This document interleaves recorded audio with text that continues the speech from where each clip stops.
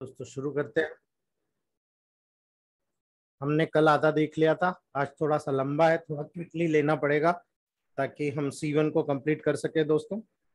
देखते देखते पौने तीन महीने हो गए हम लोगों को पता नहीं चला दोस्तों। आप सोच लीजिए, आपके चार महीने कितने इंपॉर्टेंट है।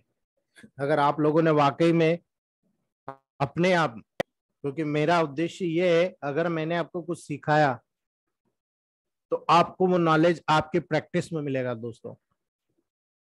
और अगर आप प्रैक्टिस नहीं कर पा रहे सही तो ये मेरी कमी होगी दोस्तों। इसलिए मैं वो कमी को पूरी करने के लिए आपको यहाँ पर बहुत डीप में बता रहा हूँ और कई बुक्स का सार आपको बता रहा हूँ दोस्तों।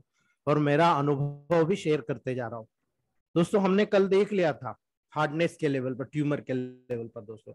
आज हम बात करते हैं दोस्तों फीमेल की जितनी भी या मेल की जितनी भी जेनेटल ऑर्गन्स में किसी भी ऑर्गन में उत्पन्न होने वाला कोई भी बेनाइन ट्यूमर हो या मेलिग्नेंट ट्यूमर हो दोस्तों, अगर वो फ़र्स्ट स्टेज में है, उसका सीधा रिलेशन होता है सीवन से दोस्तों, यानी सीवन वहाँ पर मेन मेडिसिन है। याद रखिएगा, इस बात को यही इंडिकेट करता है कि कोई भी कैंसरस ग्रोथ हो। अब कैंसर कितने प्रकार का होता है? दो प्रकार का बेनाइन और मेलिग्नेंट ठीक है? तो बेनाइन मतलब सिंपल सा ट्यूमर लाइपोमा जैसा ट्यूमर कहीं भी हो जाए। वो हो या मेलिग्नेंट हो। तो वहाँ पर फ़र्स्ट स्टेज में हो, जे अभी अभी हुआ, मालूम पड़ गया सीवन फ़र्स्ट स्टेज की मेडिसिन है दोस्तों। ज़्यादातर हमारे पास पेशेंट कब आता है? जब सेकंड या थर्ड स्टेज में हो जाता है। तब आता है। ऐसी कंडीशन में हम सीवन नहीं दे सकते। तब हमारी मेडिसिन सी टू या सी थ्री के लेवल पर होना चाहिए दोस्तों। तो ट्यूमर के फ़र्स्ट स्टेज की मेन मेडिसिन सी वन है दोस्तों। यदि किसी कारणवश वहाँ पर दोस्तों बेनाइन या अगर हम मान के चले मेलिग्नेंट ट्यूमर की कंडीशन बदल गई दोस्तों यानी हमने ध्यान नहीं दिया, काफ़ी समय तक वहाँ पड़ा रहा, हम लोग फलाने फलाने डॉक्टर से ट्रीटमेंट लेते रहे दोस्तों। उस कंडीशन में क्या होगा धीरे धीरे वो benign tumour viral bacterial growth के लेवल पर दोस्तों, बहुत ज़्यादा इन्फेक्टेड हो जाएगा और ऐसी कंडीशन में धीरे धीरे वो नेक्रोसिस के लेवल पर जाकर मेलिग्नेट ग्रोथ का रूप धारण कर लेगा दोस्तों। ये क्यों होगा? क्योंकि वहाँ पर ऑक्सीजन का लेवल कम होता जाएगा और कार्बन डाइऑक्साइड का लेवल वहाँ पर टिश्यू फ्लूड में बढ़ता जाएगा। और जब कार्बन डाइऑक्साइड बढ़ेगा, वहाँ पर टिश्यू की हीलिंग नहीं होगी। और टिश्यू की हीलिंग नहीं होगी तो नेक्रोसिस होगा। और नेक्रोसिस होगा तो डेफिनेटली मान के चलिए, हमारी बॉडी के लेवल पर जो ग्रोथ होना चाहिए, वो नहीं होगी। और वो ग्रोथ नहीं होगी तो ये डिस्ट्रक्शन होगा। और यही दोस्तों, इस प्रकार की स्थिति की बेस्ट मेडिसिन सीवन है दोस्तों। यही कारण है दोस्तों। बेनाइन ट्यूमर अगर आप देखोगे तो पहले लोकल एरिया में होता है दोस्तों, उसके बाद धीरे धीरे वो एरिया जो होता है जनरल हो जाता है। हम इसीलिए कहते हैं कि जब मैलिग्नेंट ट्यूमर जनरल पहले से ही हो जाता है दोस्तों, याद रखिएगा, कभी भी बेनाइन ट्यूमर होगा तो एक पार्ट में होगा, लेकिन अगर कोई मैलिग्नेंसी यानी कैंसरस ग्रोथ अगर डेवलप हो जाती है दोस्तों तो आप मान के चलिए, वो स्टार्टिंग से ही मेटास्टेसिसाइज कर सकता है, अर्थात बॉडी में फैल सकता है, जिसके फलस्वरूप आपको ये ध्यान रखना है, ये हमारा सिद्धांत है इलेक्ट्रोमेपैथ का, कि यहाँ पर ब्लड और लिम्फ वहाँ पर तुरंत इनप्योर हो जाएँगे दोस्तों। यानी अगर वहाँ पर किसी भी प्रकार से कैंसरस ग्रोथ के फैलने के कारण वहाँ पर आप माध्यम देखोगे कि भाई माध्यम क्या है तो आपको ध्यान रखना है ब्लड और लिम्फ ये वो माध्यम होता है जिसके माध्यम से वहाँ पर पूरी बॉडी में इन्फेक्शन स्प्रेड होती है दोस्तों। अतः याद रखिएगा दोस्तों ऐसे पेशेंट का इलाज करते समय ट्रीटमेंट करते समय आपको ब्लड और लिम्फ को प्यूरिफाई करने की मेडिसिन सबसे पहले देना पड़ेगी। इस बात को गौर करिएगा मेरी बात को कि जब भी किसी कैंसर के पेशेंट को आप ट्रीट करते हो, वहाँ पर आपका सबसे पहला उद्देश्य होगा ब्लड और लिम्फ को प्यूरिफाई करना। अगर आप ब्लड और लिम्फ को प्यूरिफाई करोगे तो याद रखिएगा, ये वो माध्यम होता है जिसके माध्यम से दोस्तों आप वहाँ पर किसी भी प्रकार के कैंसर ग्रोथ को फैलने से रोकेंगे, ठीक है? इसीलिए आपका सबसे पहला उद्देश्य ये होता है कि जब भी कोई कैंसर का पेशेंट आपके पास आता है इम्प्योरिटीज को लेकर आता है तो आपका पहला सिद्धांत क्या होना चाहिए? आप कैंसर पे बाद में काम करिए कैंसर एकाएक नहीं जाएगा, लेकिन फैल जाएगा। और फैलने पर सबसे पहले रोकने के लिए आपको जनरल टॉनिक का वहाँ पर प्रयोग करना पड़ेगा दोस्तों। और यही कारण है, यहाँ पर आपको बहुत ब्रिलियंटली रोल देखने को मिलेगा। एक दो मिनट का ब्रेक है ना दोस्तों? एक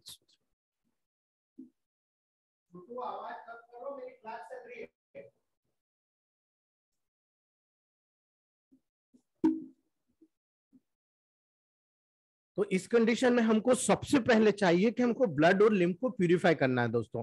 और यही कारण है कि जब हम इस प्रकार का लेवल चाहेंगे तो सबसे पहले हमको सपोर्ट करना पड़ेगा ब्लड प्यूरिफिकेशन के लिए। तो दोस्तों, अगर मैं आपको ब्लड प्यूरिफायर बताऊँ तो जो मैंने पावर बूस्टर आपको बताया, ये मैजिकल ब्लड प्यूरिफायर होता है इस प्रकार की कंडीशंस के लिए। याद रखिएगा दोस्तों। जब कैंसर की बात आती है तो कैंसर में जनरल टॉनिक से भी दस गुना ज़्यादा काम करता है दोस्तों। क्यों? क्योंकि मैं तीन मेडिसिन को जितनी भी बुक्स पढ़ी है, जितना भी अपना अनुभव है, उसके आधार पर मैं आपको बताता हूँ। S one C one A one ये जो प्राइमरी स्टेज का कैंसर होता है, जब वहाँ पर ब्लड और लिम्फ इम्प्योर होते हैं, तब यहाँ पर इन तीन मेडिसिन का रोल होता है दोस्तों। कुछ कैंसर अगर आप देखोगे तो वो सेक्सुअल ट्रांसमिटेड इन्फेक्शन हो या हेरिडिटी डिसीज हो, वहाँ पर वेनेरियो ग्रुप के मेडिसिन का प्रयोग आपको इसके साथ ज़रूर करना पड़ेगा और ये एक बहुत बड़ा प्रोटोकॉल होता है। इसीलिए मैंने आपको ग्रेंग्रेनाल फ़ूड बताया।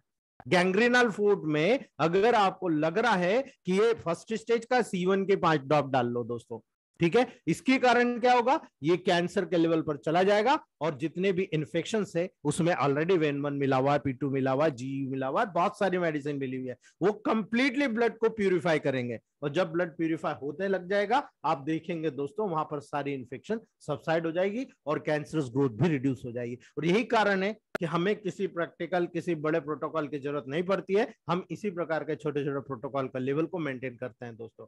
आजकल ऑपरेशन करके कैंसर की ग्रोथ को बॉडी से निकाल दिया जाता है दोस्तों। आप देखते हो दोस्तों, इससे क्या होगा? ठीक है, आप देख रहे हो, कैंसर के लेवल पर जब एबनॉर्मल ग्रोथ होती है, उसको ऑपरेशन किया गया, उसको निकाल दिया गया दोस्तों। उसमें बाद में रेडिएशन कर दिया गया या कीमो कर दिया गया। इससे क्या होगा दोस्तों? आपको उस समय तो आराम मिल जाएगा, ठीक है? उस समय आपको इमीडिएट आराम हाँ मैं कैंसर मुक्त हो गया दोस्तों, लेकिन कुछ दिनों के बाद। आप देखोगे, पुनः उसको दूसरे रूप में तकलीफ़ वहाँ पर सामने आने लग जाती है दोस्तों। जैसे जैसे समय और पैसा दोनों का दुरुपयोग आप करते हैं, उसके बाद धीरे धीरे धीरे करके फिर से आपकी डिसीज आपके शरीर में बढ़कर आ जाती है दोस्तों। और यही कारण है कि आप जो पेशेंट को समझाते हैं, उसको एक ही चीज़ आपको समझाना है कि आप या तो तुरंत रिज़ल्ट ले लीजिए बात के लिए तैयार जाइए। ठीक है? बाद में और डबल पैसा आपको लगेगा और बहुत ज़्यादा नुकसान होगा। या फिर इलेक्ट्रोमेपैथ से लाभ जो होता है ना धीरे धीरे होता है।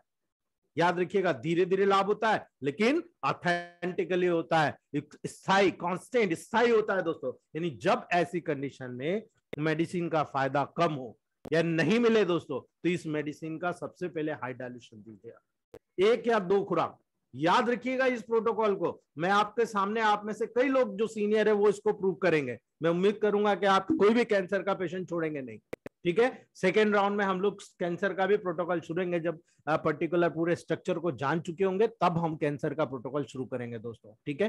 पुनः अगर आप कोई भी मेडिसिन सिलेक्ट करते हो, आपको नज़र आए मान लो थ्रॉट कैंसर है टंग कैंसर है, तब वहाँ पर दोस्तों आप लोगों को ध्यान रखना है, सबसे पहले आपको कोई भी मेडिसिन का दो या तीन डोज हाई पोटेंसी में देना है, जिस ऑर्गन का कैंसर है, उसकी स्ट्रक्चरल मेडिसिन उससे वो जो जनरलाइजेशन हो रहा है, वो रुक जाएगा। यानी मान लो ब्रेस्ट कैंसर हुआ, महिलाओं को सबसे ज़्यादा होता है।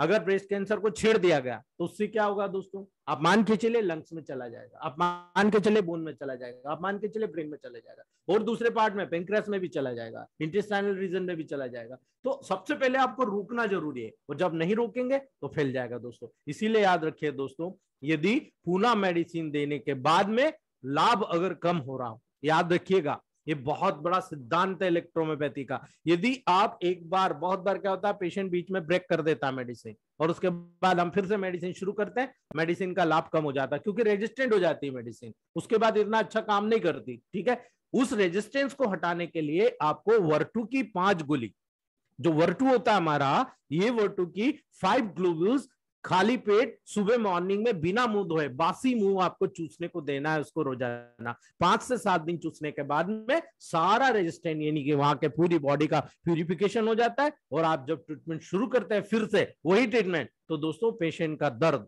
पेशेंट का वाउंड जो पस डिस्चार्ज या जो ब्लीडिंग बंद नहीं हो रही होती है, जो बंद नहीं हो रही होती है दोस्तों, वो धीरे धीरे वहाँ से सारी चीज़ यूटिलाइज हो जाती है और जितना भी जिद्दी क्रॉनिक मैलिग्रेंट ग्रोथ होगा दोस्तों वहाँ पर कैंसर में कभी कभी जब आप देखोगे ना, भयंकर पेन होता है दोस्तों तो कभी कभी दर्द में अपने आप राहत मिल जाती है।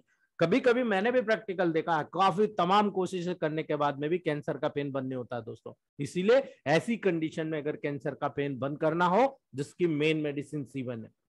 और ऐसी कंडीशन में यही कारण है कि जो संजीवनी है दोस्तों, संजीवनी किसी भी प्रकार के कैंसर का पेन या किसी भी प्रकार के इमोबिलाइजेशन का पेन होता है, उसमें ट्वेंटी ट्वेंटी ड्रॉप आप या टेन टेन ड्रॉप हर घंटे में दीजिए आप। जब तक कि पेन बंद नहीं हो जाता, यानी दिन में छह से दस बार तक दीजिए कंटिन्यू दीजिए, जैसे जैसे पेन बंद होगा, उसके बाद आपको देने की ज़रूरत नहीं, बिल्कुल नॉर्मल कंडीशन में धीरे धीरे हो जाएगा दोस्तों। इसलिए आपको देखना होगा कि इलाज के दौरान ट्रीटमेंट के दौरान अगर किसी को भयानक दर्द होता है पेन होता है दोस्तों तो आपने कितना प्रतिशत आराम दिया है, जिस पर आपका पूरा इलाज वहाँ पर निर्भर करता है। इसीलिए पेशेंट क्या सोचता है कि मैंने दवाई दी और मेरा कैंसर का पेन बंद हो जाएगा। ये लोग जितने भी होते हैं ना, ज़रूरत से ज़्यादा समझदार होते हैं। ठीक है, वो अपने आप को एक एमबीबीएस डॉक्टर के लेवल पर मानते हैं। जो मतलब पेशेंट की बात कर रहा हूँ, उसका अटेंडर की बात कर रहा हूँ। मैं यहाँ भी गया, वहाँ भी गया, यहाँ भी गया, उसने तो दर्द बंद कर दिया। आपकी मेडिसिन से दर्द बंद नहीं हो रहा। आप उसको समझाइए। दोस्त कभी कभी ऐसा स्थिति आ जाती है कि वहाँ पर हम लोगों को दोस्तों बहुत ही पॉजिटिव डायल्यूशन देना पड़ता है। यानी लोअर डायल्यूशन निम्न डायल्यूशन में चार से आठ डोज का जब प्रयोग करते हैं दोस्तों तो रोग वाले स्थान पर। याद रखिएगा इस बात को, आप इससे ट्रीटमेंट चेंज नहीं करना है। याद रखिएगा आप इस बात को कि जब इस प्रकार की स्थिति आती है कि पेशेंट हम लोगों को बहुत ज़्यादा डिमोटिवेट कर देता है, तब हम लोग गुस्से में मेडिसिन चेंज कर देते हैं। ऐसा नहीं करना। क्यों नहीं करना? सुनिए इस बात को। रोग वाले स्थान पर जब आप मेडिसिन देते हो जब वहाँ सूजन आ गई, गलन आ गई, भयानक दर्द हो रहा है दोस्तों। अगर ऐसी स्थिति आ जाती है तो इस स्थिति से निपटने के लिए दोस्तों, तत्काल उन्हीं में मेडिसिन के हाई डायल्यूशन का प्रयोग करना है आपको। बदलना नहीं है। आपको खुश हो जाना है, लेकिन पेशेंट को कैसे समझाओगे? आपको खुश हो जाना है कि आपने जो मेडिसिन सिलेक्ट करी हंड्रेड परसेंट ट्रू है। मैं पहले भी बताते आ रहा हूँ, लेकिन जब आपको ऐसा लगता है कि वहाँ पर दर्द ज़्यादा हो रहा पेशेंट थोड़ा सहन नहीं कर पा रहा, किस ऑर्गन में प्रॉब्लम है? उस ऑर्गन की टू हंड्रेड डायल्यूशन वहाँ पर आप उसको पाँच, सात, आठ डोज लगातार दे दो, उसको भी तसल्ली हो जाएगी और पेशेंट का जो सिम्टम है, वो सबसाइड हो जाएँगे दोस्तों। याद रखिएगा, इसकी करने से मैक्सिमम केसेस में आपको रिज़ल्ट मिल जाते हैं दोस्तों। लेकिन कई बार ऐसा होता है, प्रत्येक क्रॉनिक डिसीज में किसी न किसी प्रकार का पॉइजन अवश्य होता है दोस्तों। आप याद रखिएगा, मैं पॉइजन वही चीज़ बोल रहा हूँ। मैंने आपको बताया था कि सेल में मेटाबॉलिक वेस्ट हो रहा और मेटाबॉलिक वेस्ट अगर कलेक्ट हो गया तो दोस्तों, इसी प्रकार के जो क्रॉनिक डिसीजेज होती है, एक जगह नहीं होती। लोकल पार्ट से डेवलप होकर जनरल यानी बहुत जगह फैल चुकी होती है, उसका फैलाव हो चुका होता है तो उसके कारण क्या होगा? टॉक्सिन जो होता है पॉइजन जो होता है, बहुत सारा पॉइजन बॉडी में आ जाता है। तो एकाएक तो आप बिल्कुल जहर बाहर निकाल नहीं सकते हो, ठीक है? तो जब आपको जहर बाहर निकलना तो वहाँ पर लीवर को डिटॉक्सिफाई मतलब डिटॉक्सिफाई करना पड़ेगा आपको, दोस्तों, ठीक है? इसीलिए दोस्तों बॉडी का नेचुरल नियम है कि बॉडी के अंदर किसी भी प्रकार को बॉडी टॉक्सिक मटेरियल को रहने नहीं देती है दोस्तों। याद रखिएगा, क्यों नहीं रहने देती? क्योंकि लीवर का काम है। लीवर हमारी बॉडी में जितना भी एनाबोलिक और कैटाबोलिक के रूप में जो प्रोसेसर का काम करता है, उसमें जो भी आपकी बॉडी के अंदर रहना है, वह रहेगा।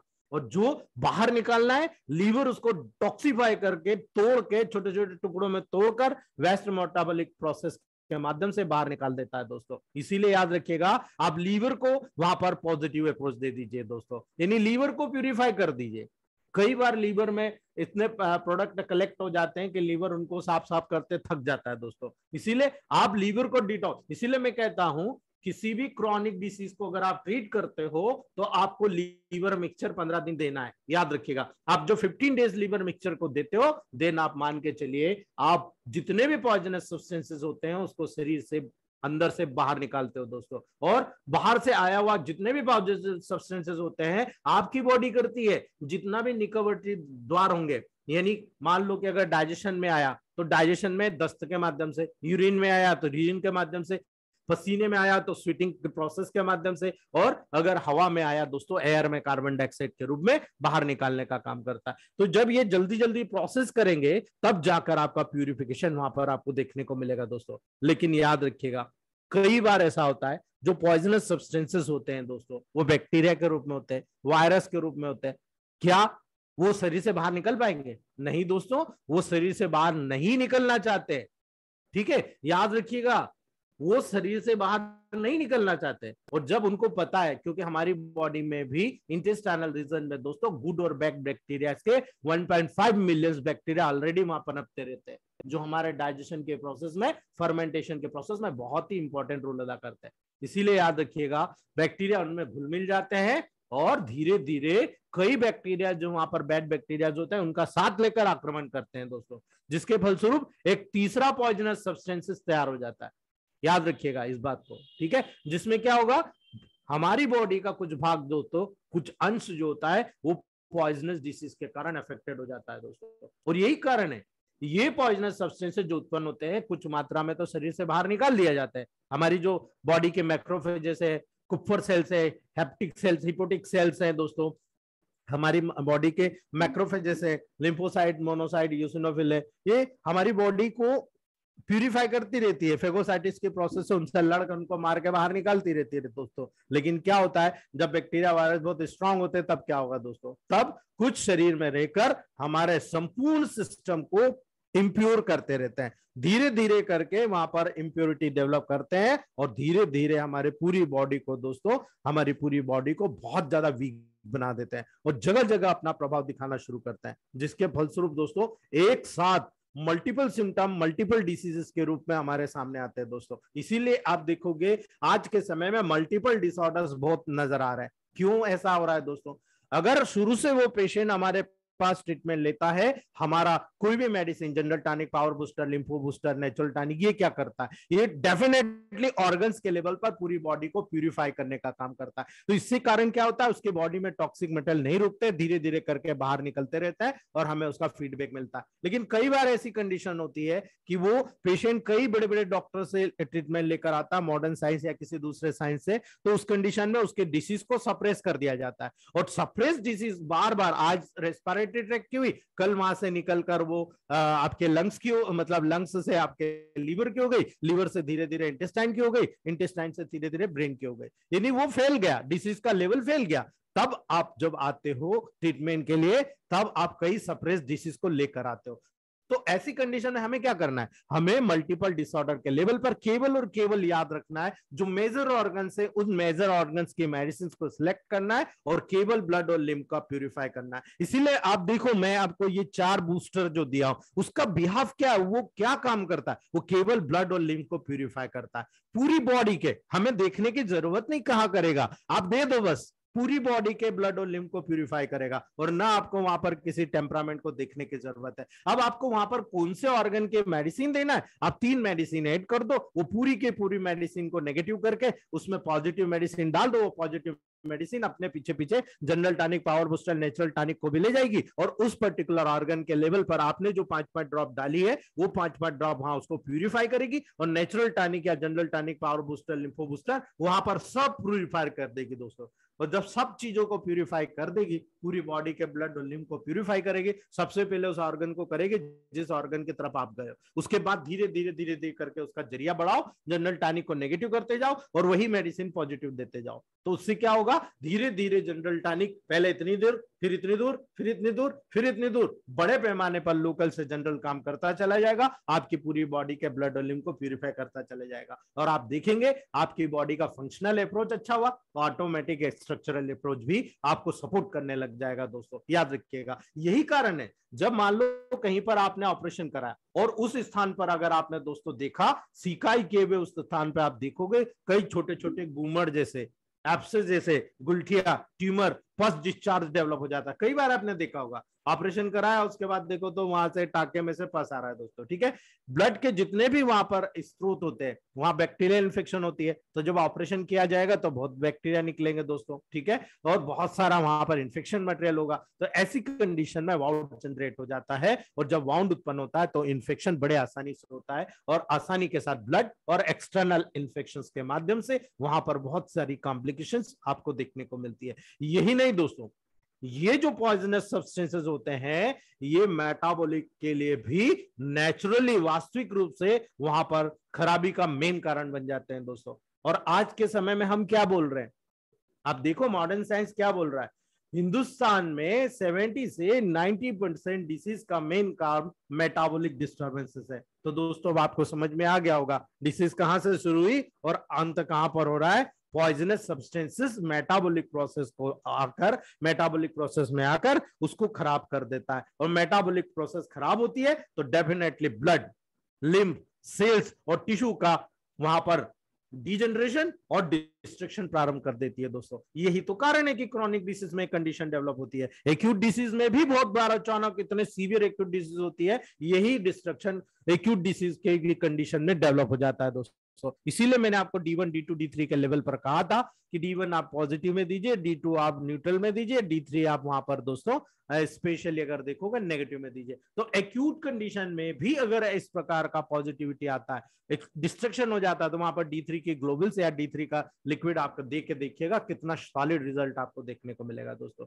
इसीलिए याद रखिए, अब जब यहाँ पर पूरी बॉडी अफेक्टेड हो गई है तो यहाँ पर ग्लैंड्स ठीक है? अब ग्लैंड्स क्या करती है? ग्लैंड हमारी बॉडी के डिफरेंट डिफरेंट पार्ट में अपने अपने पार्ट के अनुरूप अपने सिक्रेशन को जनरेट करती है। और उन्हीं सिक्रेशन के माध्यम से आपका वो ऑर्गन जिसके लिए वो ग्लैंड जिम्मेदार है, उस ऑर्गन के काम को मोटिवेट करती रहती है। जैसे thyroid gland parathyroid gland pituitary gland इनके जो सिक्रेशन है, क्या काम करते हैं? दोस्तों, ये डक्टलेस ग्लैंड है। इसमें किसी प्रकार के डक्ट नहीं होती। जब आपको ज़रूरत पड़ती है, ये हार्मोन निकलते हैं, उस जगह पर ब्लड सर्कुलेशन के माध्यम से जाते हैं, इन हार्मोन का एक समय होता है। मान लो आधा घंटा, एक घंटा काम करके वो हार्मोन ऑटोमेटिक नष्ट हो जाते हैं। इसलिए बॉडी को ज़्यादा मेहनत नहीं करना पड़ता। लेकिन आधे घंटे में उस पर्टिकुलर हार्मोन को पर्टिकुलर जगह पर जहाँ पर उसकी ज़रूरत है, वहाँ पहुँचना ज़रूरी होता है। इसीलिए दोस्तों आप देखो, अगर किसी कारण न्यूट्रिशनल डेफिशिएंसी पानी कम पीना, इस कारण से आप महिलाओं में देखो, काफ़ी हार्मोन देखो आप हाइपोथायराइडिज्म देखो एएमएच लेवल देखो एंटीमुलेरियन हार्मोन देखो किसी किसी में कम हो जाता है। क्यों कम होता है? इसी कारण से होता है दोस्तों। कि उनकी बॉडी में हार्मोनल परिवर्तन होते रहते हैं। इसीलिए दोस्तों, जो ग्लैंड्स है, उनके जो टिश्यूज होते हैं, जो लिम्फ को लगातार प्योर करने का काम करते हैं दोस्तों, वो ग्लैंड्स भी प्रभावित होकर वहाँ पर इन्फेक्टेड हो जाएगी, जिसके कारण आप देखोगे वहाँ पर इन्फ्लाम कंडीशन हो जाएगी, यानी पकने लगेगी, गलने लगेगी, सूखने लगेगी एट्रोपिड हो जाएगी हार्डनेस लेवल हो जाएगा हाइपोट्रोपी हो जाएगा डिस्ट्रक्शन प्रारंभ हो जाएगा। तो ये हम लोग लाइव हमारे टेबल प्रैक्टिस में देख रहे हैं, क्योंकि हम डॉक्टर्स हैं दोस्तों। और डॉक्टर्स को अपना माइंड को विस्तृत करना पड़ेगा। हम लोग हमारी टेबल प्रैक्टिस में डेली देखते हैं। एक पेशेंट आया, सूजन लेकर आ गया। एक पेशेंट आया, देखो पस पॉइंट लेकर आ गया। उसी प्रकार का एक पेशेंट आया, देखो बहुत बड़ा एफसेस लेकर आ गया। एक पेशेंट आया, कुछ नहीं हो रहा, बोल रहा है कि साहब मुझे पूरी बॉडी पे इचिंग हो रही। तो आपका ध्यान वहाँ पर जाना चाहिए। इसको प्रॉब्लम कहाँ से शुरू हुई दोस्तों? इसीलिए याद रखिए, पूरे शरीर के जो मेन मेन ऑर्गन होते हैं, इसी प्रकार के डिजनरेशन या डिस्ट्रक्शन के कारण हमारे फ़ंक्शन जो होते हैं, जो सिस्टम होते हैं, वो एक दूसरे से जुड़े होते हैं दोस्तों। और वहाँ पर जब किसी सिस्टम का ऑर्गन वहाँ पर डिस्ट्रक्ट होने लगता है दोस्तों, उसका काम कम होने लगता है, यानी लॉस ऑफ़ फ़ंक्शन होने लगता है दोस्तों, जो इन्फ्लामेशन का सबसे लास्ट पार्ट होता है। Pain swelling redness oedema and loss of function ठीक है? ये जब कंडीशन डेवलप होती है तो वहाँ पर दोस्तों, अगर वहाँ पर क्यूर हो गया हीलिंग हो गया तो कोई दिक्कत ही नहीं है। लेकिन अगर वो हीलिंग नहीं हो रहा और बढ़ रहा है दोस्तों तो ये हमारे लिए थोड़ा सा डेंजरस होता है। अगर बढ़ रहा होता है, ये सीधा क्रॉनिसिटी की तरफ़ जाता है। यानी अगर वहाँ पर जो हमारे निर्जीव ऑर्गन है, जो वर्क नहीं करते, कम वर्क करते या जो वर्कोलिक ऑर्गन होते हैं, जो लगातार, वहाँ पर सेंसिटिव ऑर्गन है दोस्तों, वहाँ पर ये पॉइजन फैल जाएगा तो डेफिनेटली कैंसर का लेवल बहुत ज़्यादा बॉडी में फैलेगा दोस्तों। यही कारण है, हमें केवल इन पॉइजन के ऊपर ध्यान देना है। अगर हमने पॉइजन को पूर्ण रूप से ब्लड और लिम से प्यूरिफाई कर दिया तो हमने ऑर्गन को कैंसर से मुक्त कर दिया। बस एक वर्ड आपके दिमाग में फिट होना चाहिए, बस बाकी सब फालतू बातें हैं दोस्तों। तो जितने लोग कह रहे हैं, हम कैंसर हॉस्पिटल फलाना हॉस्पिटल कोई मतलब नहीं। हम सब कैंसर स्पेशलिस्ट हैं। हमको सबको भी कैंसर है। आप इस चीज़ को समझिएगा, क्योंकि कैंसर सेल हर व्यक्ति में होती है, ठीक है? लेकिन हर व्यक्ति की जो जो हमारे बॉडी की जो प्रोटेक्टिव सेल्स होती है, वो कभी कैंसर सेल को ग्रोथ करने नहीं देखती। ठीक है? तो जब हमारी बॉडी में यही टॉक्सिक पॉइजनस मटेरियल वहाँ पर कलेक्ट होता रहेगा, जिस भी ऑर्गन के फ़ंक्शन को डिस्टर्ब करता रहेगा, वहाँ पर उस ऑर्गन से रिलेटेड सेल्स में कैंसर सेल्स वहाँ पर जाकर मोटिवेट होगी डेवलप करेगी और उस ऑर्गन का कैंसर डेवलप करेगा। तो हमें पता है कि हमारी बॉडी में टॉक्सिक मटेरियल या पॉइजन रुक रहा है और उसी रुकने के कारण हमारी बॉडी में कैंसर डेवलप हो रहा है। अब दोस्तों आपको लाइव पता है कि हमारी बॉडी में टॉक्सिक मटेरियल ही कैंसर को जनरेट कर पा रहा है। ठीक है? तो आपको जब लाइव पता है कि भाई जनरेट ऐसे हो रहा है, ठीक है? तो फिर जाएगा कैसे? सिंपल सी बात है। हमारा तो प्रिंसिपल ही है, ठीक है? Blood and lymph vitiation of blood and lymph is the causes of disease और डिसीज कॉम्प्लेक्स रूप में है कोई एक पार्ट में नहीं है, इसलिए हमारा जो ट्रीटमेंट है, वो भी कॉम्प्लेक्स में ये प्रिंसिपल यहाँ पर ऑलरेडी प्रूफ होता है। इसीलिए हम कहते हैं कि electrohomoeopathy is a complex therapy और कॉम्प्लेक्स थेरेपी होने के कारण दोस्तों, बहुत ही कॉम्प्लिकेटेड रूप में ये काम करती है। लेकिन हमारे जितने डॉक्टर्स है ना, सारे डॉक्टर्स ने बहुत सारी मेडिसिनों को मिक्स कर मारा और उसी के लेवल पर। वो जानते नहीं है किसी को कुछ भी प्रोटोकॉल बता देते हैं। लेकिन हम, हमारा ग्रुप बहुत अलग है दोस्तों। हम फिलोसॉफी के ऊपर बात करते हैं। अभी जब आपको डिसीज का प्रोटोकॉल एक एक का बताया जाएगा ना, आप में से कई लोग प्रैक्टिस कर रहे हैं इलेक्ट्रोमोपैथ में। और जब वो प्रैक्टिस का लेवल देखेंगे कि यार, हम तो क्या मेडिसिन दे रहे थे, यहाँ तो क्या निकल के आ रहा, आपको समझ में आएगा एनाटॉमी फिजियोलॉजी पैथोलॉजी का जो ट्राइंगल है, हमने एनाटॉमी में देखा। हमने फिजियोलॉजी अभी हम सब फिजियोलॉजिकल प्रोसेस के आधार पर मेडिसिन पढ़ रहे हैं। ये पूरे फिजियोलॉजिकल फ़ंक्शन के आधार पर है। और जब हम इसको कोरिलेट करेंगे बॉडी का फिजियोलॉजिकल पढ़ेंगे सिस्टम उसके साथ एनाटॉमिकल सिस्टम और उस सिस्टम से रिलेटेड जितने भी डिसीज मैं इसीलिए मना करता हूँ, अभी प्रोटोकॉल मत पूछो आप। जब आप फिजियोलॉजी पढ़ोगे एनाटॉमी पढ़ोगे और उसमें रिलेटेड आपको पैथोलॉजी निकल के आएगी कि ये डिसीज है, आपको ये जितने भी चीज़ मेडिसिन के रूप में बताया हूँ, आप उसको देख लीजिएगा। आपको समझ में आएगा कि हाँ यार, हम तो परफेक्ट हो गए इस डिसीज के लेवल पर और तब आपका देखिएगा number of patient number of patient देखिएगा कितने बढ़ते हैं दोस्तों। यही कारण है दोस्तों, जब आपकी बॉडी में पॉइजन प्रत्येक ऑर्गन के लेवल पर, आप मान के चलिए सबसे छोटी इकाई सेल सेल से ही कोई भी इंफेक्शन बढ़ता है और सेल पर ही हमारी मेडिसिन सबसे पहले काम करती है। ऐसे नहीं कि डायरेक्ट ऑर्गेनिक रेमेडी है तो हम ऑर्गन पे काम कर रहे हैं। ऑर्गन पे काम करने के लिए भी तो सेल में जाना पड़ेगा। टिश्यू फ्लूट से गई कहाँ पर? सेल में। सेल के अंदर मेटाबॉलिक प्रोसेस के लिए अंदर गई। वहाँ से कई सेल्स के ग्रुप में गई। वहाँ से कई सेल्स का ग्रुप टिश्यू बन रहा है। वो टिश्यू का ग्रुप क्या हो रहा है? ऑर्गन बन रहा है। तो पहले सेल में गई, जब तो ऑर्गन में पहुँची ना दोस्तों। इसीलिए टिश्यू फ्लूड इंटरसेल्युलर और एक्स्ट्रा सेल्युलर फ्लूड ये हमारे लिए बहुत काम का आता है दोस्तों। इसीलिए आप जब टेबल प्रैक्टिस में देखते हो तो ये जितने भी सूक्ष्म सूक्ष्म चीज़ होती है दोस्तों, वो सेल सेल के माध्यम से आपके टिश्यूज में मिल जाते हैं और जगह जगह पर दोस्तों टिश्यू में टॉक्सिक कंडीशन का निर्माण करते हैं। टिश्यू को डैमेज करना शुरू करते हैं। और ऐसी स्थिति में जब आप वहाँ पर प्रोटोकॉल का जनरेशन करते हो, आपका एक ही वर्ड होना चाहिए। यानी वूल बॉडी के ब्लड और लिम्फ वहाँ पर प्यूरिफाई करना है। अगर आपने नहीं किया तो ब्लड और लिम्फ और टिश्यूज को जो कंडीशन होती है दोस्तों, वहाँ पर अंदर के साइड में उन टिश्यूज को बदलना असंभव है। याद रखिएगा, उनके अंदर जाकर बॉडी के अंदर घुसकर सिकाई करना भी असंभव है। और यही कारण है दोस्तों कि वहाँ पर दूसरे साइंस फेल हो जाते हैं और हमारी इलेक्ट्रोमोपैथ की बात करें, हम लोग हमारी मेडिसिन के माध्यम से अंदर के प्रत्येक ऑर्गन इसीलिए मैटी जी ने दिमाग लगाया दोस्तों। उन्होंने भी सारी मेडिसिन को ऑर्गन्स के वर्क के तरीके के हिसाब से सेट किया दोस्तों। और उन्होंने बताया, ये ऑर्गन है, इस ऑर्गन को मैंने प्यूरिफाई करा, ये ऑर्गन इस ऑर्गन से रिलेटेड है। अर्थात उस डिसीज में भी, जो इन दोनों ऑर्गन के बीच में जनरेट हो रही है, एक ऑर्गन से दूसरे ऑर्गन में फैल रही है। अगर मैंने वहाँ पर ब्लड और लिम को प्यूरिफाई कर दिया, उस ऑर्गन के मेडिसिन को एड करके कर दिया तो सबसे पहले उस ऑर्गन के लेवल पर ब्लड का प्यूरिफिकेशन होगा, उसके बाद पूरी बॉडी का भी ब्लड का प्यूरिफिकेशन होगा। ये सबसे बड़ा एडवांटेज है इलेक्ट्रोमोपैथ मेडिसिन में। बशर्ते आपको समय देना पड़ेगा। आप, बशर्ते आपको डोसोलॉजी पता होना चाहिए। बशर्ते आपको प्रोग्नोसिस पता होना चाहिए। बशर्ते आपको डायग्नोसिस पता होना चाहिए और उसके बाद में आपको किसी भी प्रकार का प्रोटोकॉल देख लो दोस्तों, आपको रिज़ल्ट देखने को मिल जाएगा। यही चीज़ मैं बता रहा हूँ दोस्तों। जब ब्लड और लिम को बदल कर भी आप अगर मान लो, बहुत बार हम क्या करते हैं? ब्लड का ट्रांसफ्यूजन कर देते हैं। पूरा ब्लड निकाला, दूसरा ब्लड डाल दिया। आप देखो, ठीक है? यही काम किसमें होता है? रीनल फेलियर में डायलिसिस के केस में। लेकिन ब्लड और लिम्फ को बदलकर भी आप किसी रोग को वहाँ से रोग मुक्त नहीं कर सकते उस पेशेंट को, दोस्तों। याद रखिएगा। बल्कि कुछ निश्चित समय बाद जब वो रोग लौटेगा तो वो नए कैरेक्टर में लूटेगा दोस्तों। न्यू ब्लड और लिम्फ की डिसीज से वहाँ पर दोस्तों पेशेंट परेशान हो जाएगा और फिर वहाँ पर इतनी डेंजरस कंडीशन होगी क्योंकि वहाँ पर किसी दूसरे व्यक्ति का ब्लड भी अगर आपने चढ़ाया तो वो इम्यूनिटी का लेवल जनरेट नहीं होता है। और इसी कारण से दोस्तों आप देखते आ रहे हो कई लोगों की डेथ हो जाती है। इसीलिए दोस्तों, ऐसी कंडीशन में आप लोगों का इलेक्ट्रोमोपैथ का अपने ऊपर बिलीव करना बहुत ज़रूरी है दोस्तों। यही कारण है, हमारे सीनियर्स बिल्कुल बिलीवर नहीं थे।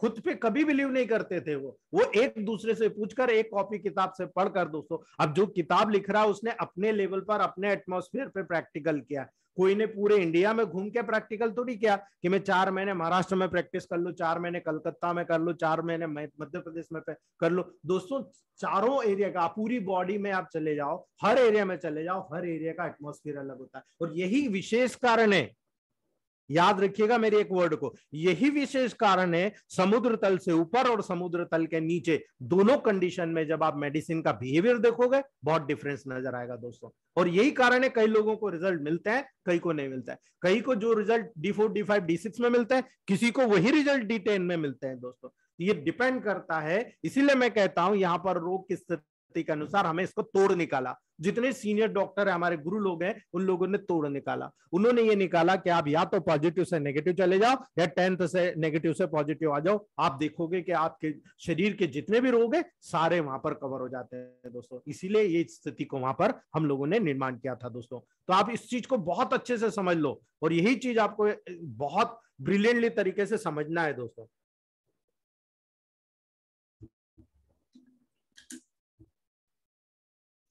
जब आप ऐसी स्थिति में आते हो तो आपको कैंसरस ग्रुप के मेडिसिन को कभी नहीं भूलना वो मेडिसिन जो भी चेंजेस हो रहे हैं, भाई फ़ंक्शन होगा तो फ़ंक्शन में केवल फ़ंक्शन का सुधार होगा।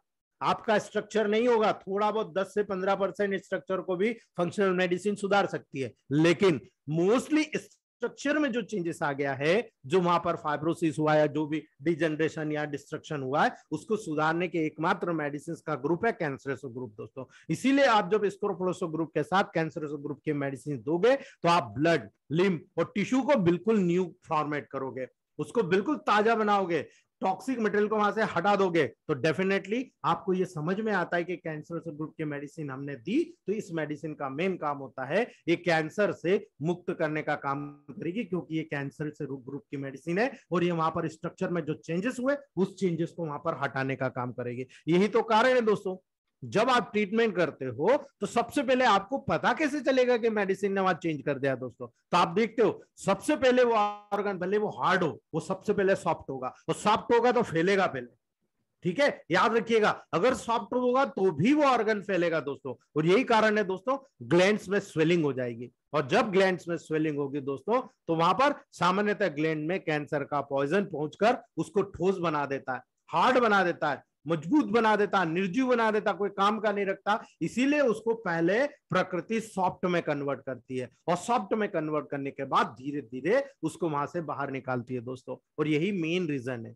इसीलिए अगर कहीं पर कोई ऑर्गन के लेवल पर अचानक कोई सिम्टम बढ़ता है तो आपको बहुत खुश हो जाना चाहिए। इसलिए खुश हो जाना चाहिए कि आपकी मेडिसिन का सिलेक्शन 100 परसेंट सही है। बस आप उसी ऑर्गन से रिलेटेड हाई पोटेंसी के मेडिसिन तीन से छह डोज अकॉर्डिंग टू कंडीशन अगर तीन में काम होता है, तीन ही दो, ज़्यादा नहीं देना। अगर आपको लगता नहीं, देने की ज़रूरत है, बहुत डीप में है, आप छह डोज दे दो। कोई दिक्कत नहीं। सुबह शाम सुबह शाम तीन दिन दे दो, उसके बाद वो हाई पोटेंसी बंद कर दो। उसके बाद वही लो पोटेंसी जो आपने दी है, उसका डोज दस बुन की जगह दो बुन चार बुन करके शुरू कर दो। आप देखेंगे, वही रिज़ल्ट आपको देखने को मिल जाएगा दोस्तों। इसीलिए दोस्तों मेडिसिन के इफ़ेक्ट से कैंसर जितने भी पॉइजनस सब्सटेंसेस वहाँ पर कलेक्ट होते हैं दोस्तों, उसके कैंसर के, है ना? उसको जितना भी पास का स्थान है, वहाँ से वो बाहर निकालना प्रारंभ करता है। जिसके फलस्वरूप ग्लैंड में वहाँ पर दोस्तों संजीवता आने लगती है। यानी वहाँ पर ग्लैंड में स्टिमुलेशन होने लगता है। जो ग्लैंड का डैमेज हो चुका था, वो फिर से स्टिमुलेट होकर रिजनरेट होने लगता है।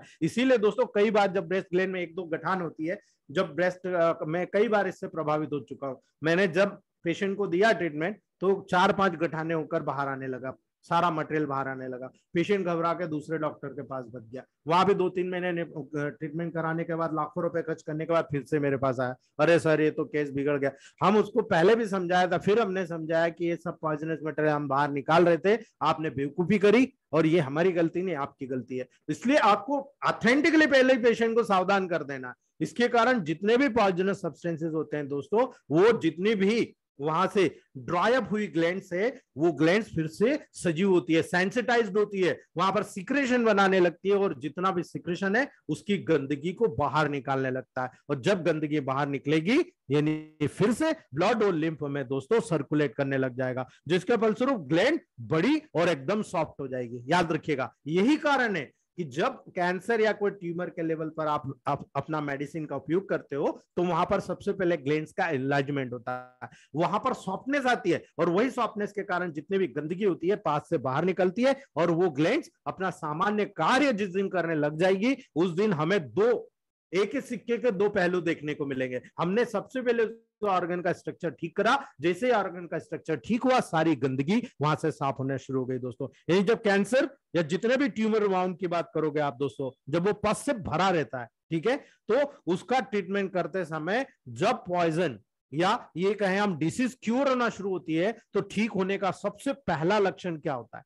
आप लोग कैसे डायग्नोस करोगे दोस्तों? ये भी मैं आपको बता रहा हूँ। जब आपको देखने को मिलेगा डिसीज क्योर हो रही है, ठीक हो रही है तो पहला लक्षण होगा दोस्तों, जो मसल्स का कलर है, वो चेंज होगा। जो पस का कलर है, वो चेंजेस होगा। उसमें पहले बिल्कुल पीला, हरा, काला, गला मतलब सड़ा गला मटेरियल बाहर निकलता था। धीरे धीरे आप देखेंगे, उसका रंग बदलकर गुलाबी होने लगेगा दोस्तों।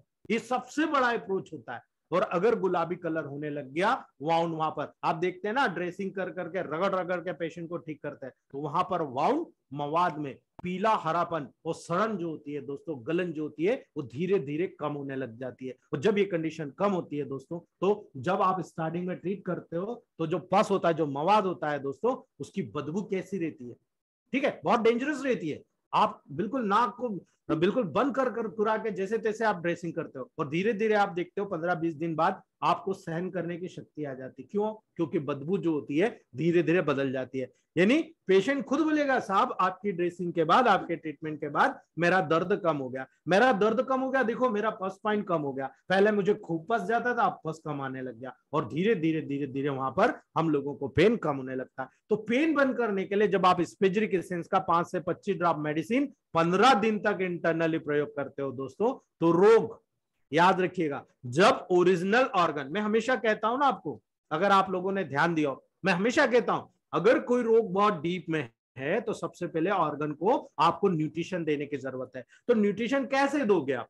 न्यूट्रिशन देने का मतलब होता है कि आप डी फोर में कहीं मेडिसिन दो या डी थ्री में या डी टू में दो या डी वन में दो। जब आप स्पेजरिक डी थ्री का पाँच से पच्चीस ड्रॉप मेडिसिन पंद्रह दिन तक जब इंटरनली प्रयोग करते हो तो आप देखते हो रोग बढ़ नहीं रहा। सबसे पहले स्टॉप हो जाता है। रोग वहीं का वहीं स्टॉप हो रहा यही काम हाइपोटेंसी की मेडिसिन करती है। आपने एक हज़ार डायलिशन दे दिया तो लोकल से जनरलाइजेशन जो हुआ है, वो जनरलाइजेशन से लोकलाइजेशन की तरफ़ बढ़ना शुरू कर देता है। वही काम पेन के लेवल पर न्यूट्रिशन के लेवल पर, लड़ने के शक्ति डालने के लिए दोस्तों, आपको पाँच से पच्चीस ड्रॉप मेडिसिन पंद्रह दिन तक इंटरनली देखकर आपको देखना चाहिए। कि वहाँ पर वो रोग बढ़ रहा है या नहीं। रोग वहीं का वहीं बंद हो जाएगा। उसी जगह कंप्राइज हो जाएगा दोस्तों। और अन्य कोई भी अगर साइड इफ़ेक्ट या कोई उसकी कॉम्प्लिकेशन अगर डेवलप नहीं हो रही है तो आपको ट्रीटमेंट नहीं बंद करना। है कंटिन्यू उस मेडिसिन को तब तक चलाइए डोज कम करते जाइए या डोज को बढ़ाते जाइए दोस्तों। यदि आपको कोई भी डायल्यूशन याद रखिएगा, मैं आपको दो तरीके बता रहा हूँ। यदि कोई भी डायल्यूशन आपको नज़र आता, मान लो आपने किसी पेशेंट को डी फाइव में दिया और डी फाइव में आपको रोग बहुत अच्छा हो गया। यानी कि आप थायराइड का ट्रीटमेंट कर रहे हो S two C three L two R दे रहे हो डी फाइव में, ठीक है? पेशेंट को बहुत अच्छा रिज़ल्ट आ रहा है। आपने शुरुआत में दस दस गुण दिया। नेक्स्ट टाइम आए बेनिफिट हो रहा है थायराइड का आपने टेस्ट कराया, कम हो गया, उसी को आप दस की जगह पंद्रह ड्रॉप कर दो, उसी को पंद्रह की जगह बीस ड्रॉप कर दो, उसी को बीस ड्रॉप से पच्चीस ड्रॉप कर दो, उसी को तीस ड्रॉप कर दो, उसी को पैंतीस ड्रॉप कर दो, और उसी को जब चालीस लास्ट होता है फोर्टी ड्रॉप अगर फूटी ड्रॉप करने के बाद में उसको रिवर्स सिम्टम नहीं हुआ, आपका treatment complete five to ten days वर्वन को डायरेक्ट मॉर्निंग में आप दे दीजिए, अगर उसके बाद में आप चेक करा लीजिए। अगर उस मेडिसिन देने के बाद कोई भी सिम्टम आगे नहीं आया, इसका मतलब आपकी डिसीज कंप्लीट हो चुकी है क्यूर हो चुकी है, हमें टेंशन नहीं, आप बंद कर दीजिए दोस्तों। मैक्सिमम कंडीशन में आपको ट्रीटमेंट बंद करने का बहुत बड़ा प्रोसेस होता है और इसी में हमारा पूरा प्रोटोकॉल कंप्लीट हो जाता है दोस्तों। याद रखिएगा। लेकिन यहाँ पर ध्यान रखने बात यह है दोस्तों कि कई बार क्या होता है ना, हम लोगों की गलती नहीं है, लेकिन कभी कभी हमारी भी गलती होती है। हम लोग पेशेंट को बता नहीं पाते हैं और पेशेंट समझ नहीं पाता है। पेशेंट को डायरेक्ट बोल देना, अगर आप बीच में आराम होने के बाद अगर मेडिसिन लेना बंद कर दोगे आपकी फिर से पहली स्थिति हो जाएगी और हमें फिर से पहले दिन समझ कर आपको ट्रीटमेंट करना पड़ेगा। और जिसका परिणाम बहुत बुरा होगा और सबसे ज़्यादा बुरा आपके लिए होगा, आपका समय गया, आपका पैसा गया और हमारा ये होगा कि आप हमें परेशान कर दोगे। क्यों? क्योंकि दोस्तों, वो एक्यूट और क्रॉनिक डिसीज को अगर आप सामान्य समझते हो तो गलत करते हो दोस्तों। यही बात है। और यही पेशेंट ज़्यादातर समझता है। पेशेंट को लगता है तो डॉक्टर पैसे कमाने के लिए हमें बार बार बुला रहा लेकिन उसे नहीं पता है कि कोई भी रोग अगर डेवलप होता है तो हार्ट से जितना दूर होगा, उतना ज़्यादा समय लगता है। हार्ट के समीप जितने ऑर्गन है ना, उनको ठीक होने में उतना जल्दी लगता है। इसीलिए आप अस्थमा को देखो, कितनी कॉम्प्लिकेटेड डिज़ीज़ है, लेकिन six month to one year में कंप्लीट क्योर हो जाती है दोस्तों, अगर आप करना चाहो तो। यही कारण है दोस्तों, जितना भी इंटरनल डिसीज जितना डीप में फैला होगा, या एक्सटर्नल डिसीज जो बहुत ज़्यादा फैला होता है तो internal disease as well as external disease में ठीक होने में टाइम रखता है दोस्तों। इसीलिए जो ट्रीटमेंट हम करते हैं, वो हमारे गर्ड्स पे डिपेंड करता है। हमारे पूरे कैरेक्टर पे डिपेंड करता है कि हम कितने अपडेट हुए हम केवल बुक्स में से प्रोटोकॉल पेशेंट आया लिया, अंदर गए किताबें खोली प्रोटोकॉल निकाला, लिखा और दे दिया। या किसी दोस्त को व्हाट्सअप करा, उससे फ़ोन पे पूछा, उठा के दे दिया। तो दोस्तों पेशेंट आपके सामने बैठा है। रिपोर्ट्स आपके सामने सिम्टम आपके सामने। आप कैसे करोगे दोस्तों? ठीक है? सामने वाला तो कोई भी प्रोटोकॉल बता देगा। अगर प्रोटोकॉल सही बैठ गया तो वाह वाह, अगर नहीं बैठा तो? तो दोस्तों, यहाँ पर हमको देखना है उस पेशेंट का मेटाबॉलिक प्रोसेस कितना है दोस्तों, ठीक है? वो मेटाबॉलिज्म अगर प्रभावित है तो आप मान के चलो कोई डीप सीटेड डिसीज है, अब डीप सीटेड कैंसर भी हो सकता है ट्यूबरकुलोसिस भी हो सकता है रिकेट्स भी हो सकता है, आपका थॉट इन्फेक्शन भी हो सकता है सिफिलिस भी हो सकता है गाउट भी हो सकता है अर्थराइटिस भी होता है, यानी डिफरेंट डिफरेंट टाइप की डिसीजेस जो होती है, वहाँ पर कोरिलेट करती है एसोसिएटेड होती है दोस्तों। तो इसीलिए जब मल्टीपल डिसऑर्डर डेवलप होता है तो हमें सोचने की ज़रूरत नहीं है ना भाई। हमारे पास तो एक ही हो, एक ही गुण है हमारे पास। हमारी कोई सी भी मेडिसिन उठा के दे दो थर्टी से फोर्टी परसेंट उस डिसीज को भले वो मिलती जुलती नहीं हो, वो ठीक हो जाती है दोस्तों। यही कारण है। अभी डायलिसिस के पेशेंट में डॉक्टर गजेंद्र दसूंदी ने S three W C three W को गलती से दे दिया। ठीक है? आप बात मानोगे, दो महीने हो गए उसने डायलिसिस नहीं कराया पेशेंट में उसको इतना अच्छा लग रहा है। आप मुझे बताइए कि एस थ्री डब्ल्यू और सी थ्री ये कहाँ का प्रोटोकॉल है दोस्तों? आप मुझे बताइए, क्या ये किडनी पे काम करता है? नहीं ना? तो फिर इसने कैसे दे दिया?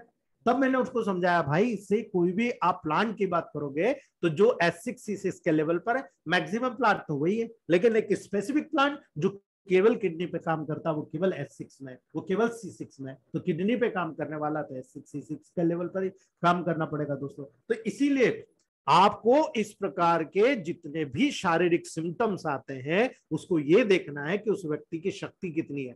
उसको सहन करने का पावर कितना है उसमें, ठीक है? अगर उसके ऑर्गन में, उसके बॉडी के सिस्टम में अगर किसी प्रकार का कोई इम्प्योरिटीज है, उसके बॉडी में कार्य करने की क्षमता नहीं है, और अगर आपने हाईफाई ट्रीटमेंट चालू किया तो दोस्तों, उससे क्या होगा?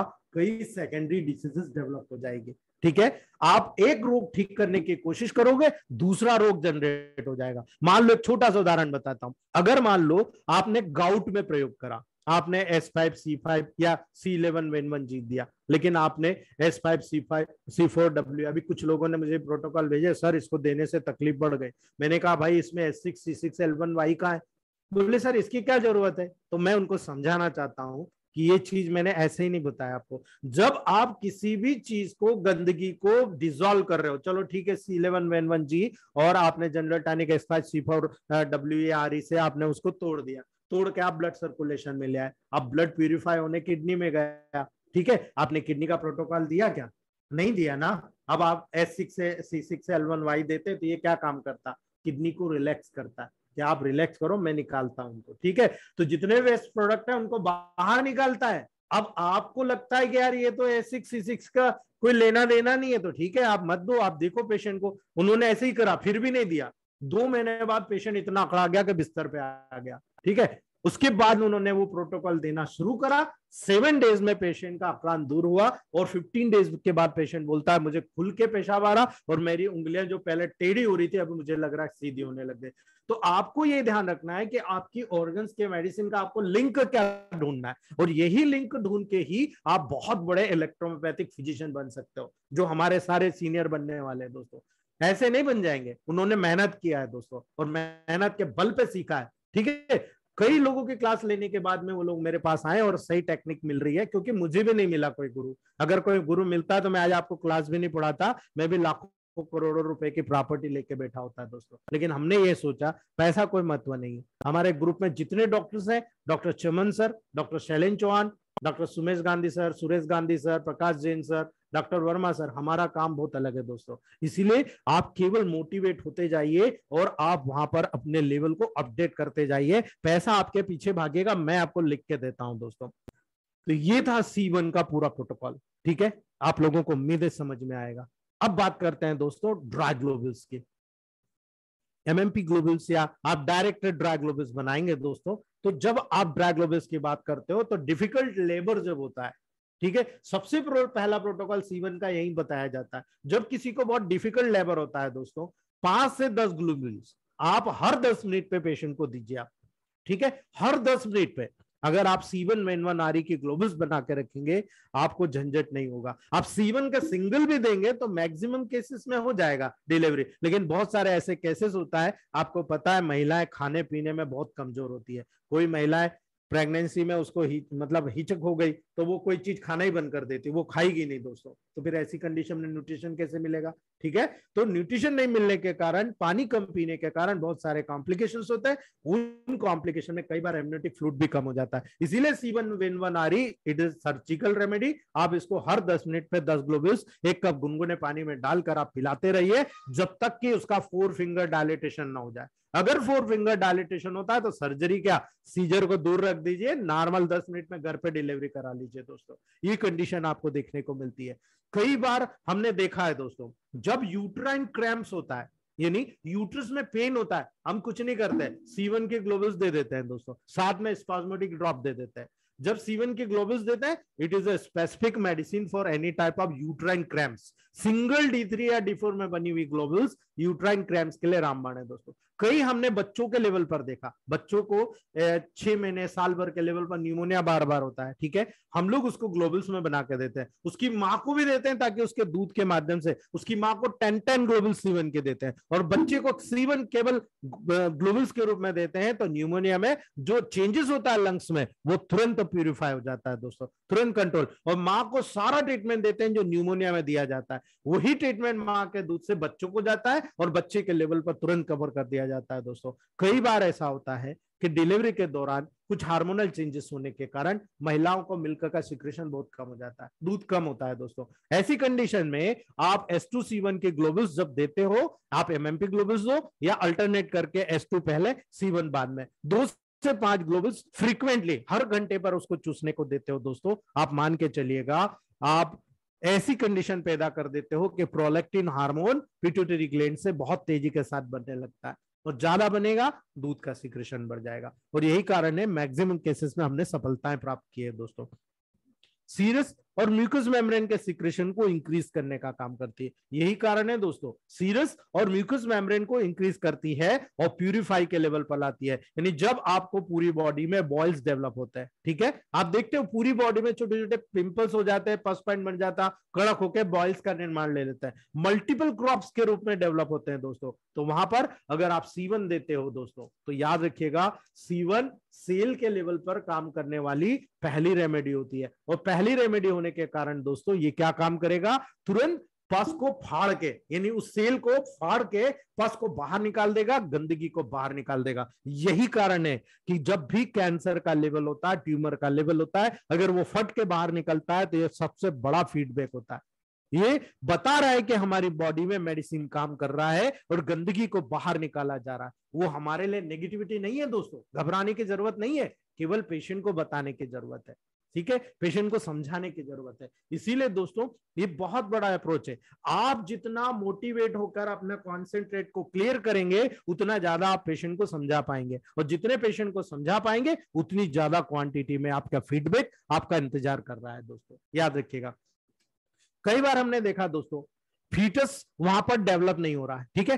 कई लोग बोलते हैं, अरे साहब फीटस तो डेवलप बच्चा तो डेवलप नहीं हुआ इसको तो आपको अबॉर्ट करना पड़ेगा सर्जरी करके निकालना पड़ेगा इसको। तो दोस्तों, मैं कहता हूँ, आप दो महीने इंतज़ार कर लो। दो महीने बाद भी निकाल देना, कोई दिक्कत नहीं, ठीक है? तो ये फीटस को परिपक्व करके और यूट्राइन कॉन्ट्रेक्शन करवाकर इस प्रकार से दोस्तों फीटस को बाहर निकालने में भी मदद करता है। यानी ये दोनों कंडीशन करता है।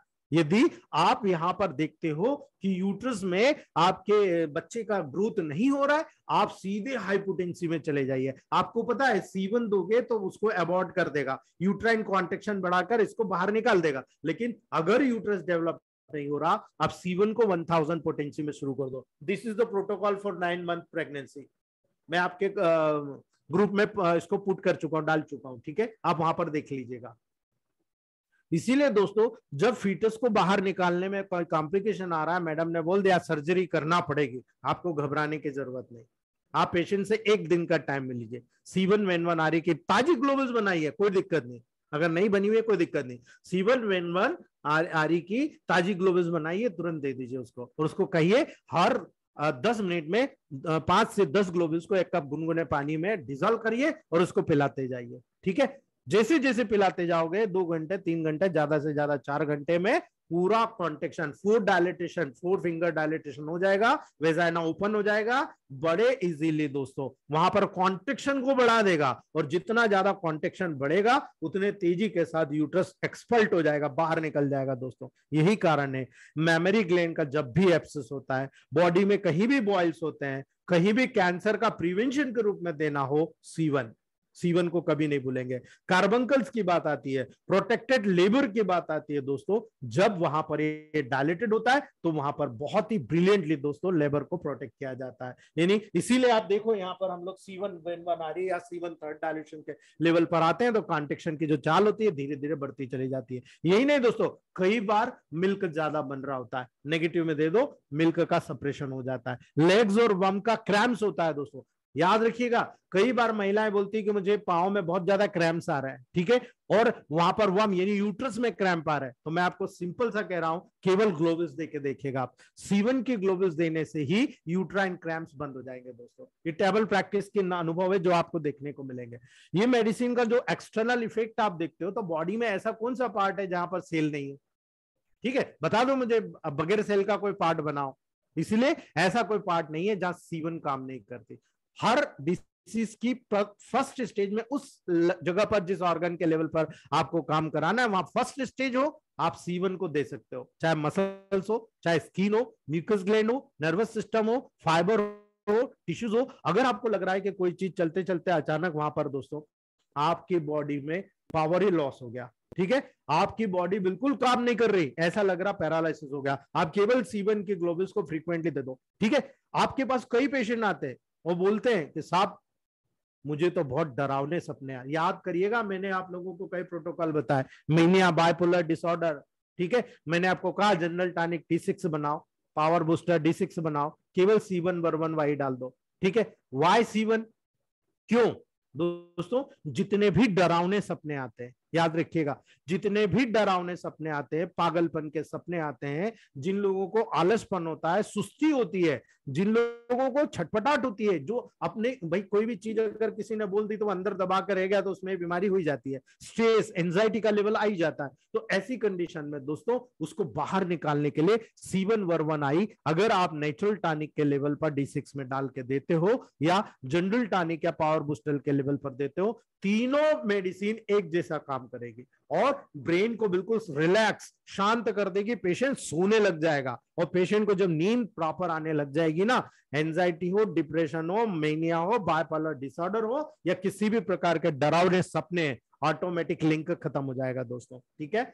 सपने आना, जब आप पढ़ोगे सेंट्रल नर्वस सिस्टम तो मैं बताऊँगा कि जब हम नींद को, इंसुमनिया को पढ़ेंगे नींद को तो नींद को जब पढ़ेंगे ना तो स्टार्टिंग आपके ड्रीम से ही होती है। तो ड्रीम्स बहुत अच्छे लेकिन डरावने ड्रीम्स अजीब से ड्रीम्स भयानक ड्रीम्स आना, ये एक प्रकार से एंजाइटी डिप्रेशन के लेवल पर डेवलप होता है दोस्तों। इसीलिए अगर आपको ऐसा लगता है कि किसी फीमेल को ट्रीट करना है तो मैंने आपको फिर कहा था, फिर कह रहा हूँ।